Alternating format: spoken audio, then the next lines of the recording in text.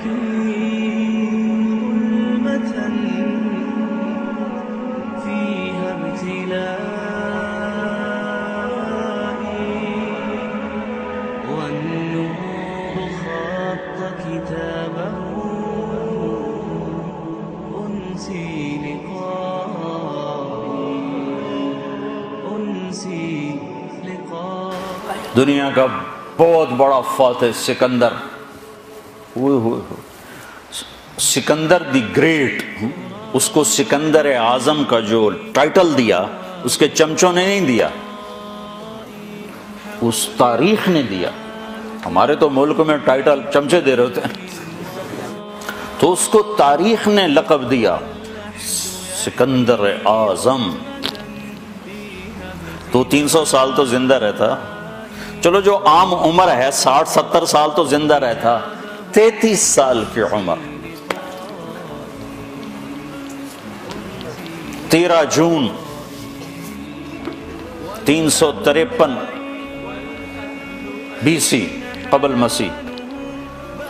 मुल्क दुनिया फतह करने निकला है और फातिहाना वापस जा रहा है। और जहाँ तक फतह किया हमारे टेक्सला तक पहुँचा था। आगे लश्कर इन, इनकारी हो गया वो तो चाहता था और भी आगे जाऊँ। तो सारे खजाने साथ हैं। और इराक पहुँचा। इराक से तुर्की में एंटर होना है और तुर्की से मकदूनिया।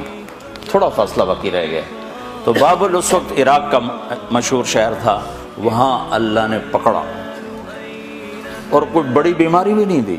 मलेरिया बुखार। मलेरिया। और मौत ने जो झटका दिया तो उसकी हसरत भरी फरियाद सुनो जो तारीख ने महफूज कर ली। कोई है कोई है कोई है।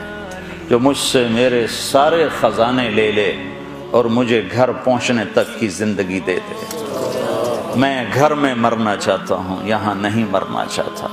मकदूनिया करीब है, वह तुर्की तुर्की से मकदूनिया, साथ जुड़ा हुआ मैं मकदूनिया मरना चाहता हूँ। लेकिन अल्लाह ने वही मारा।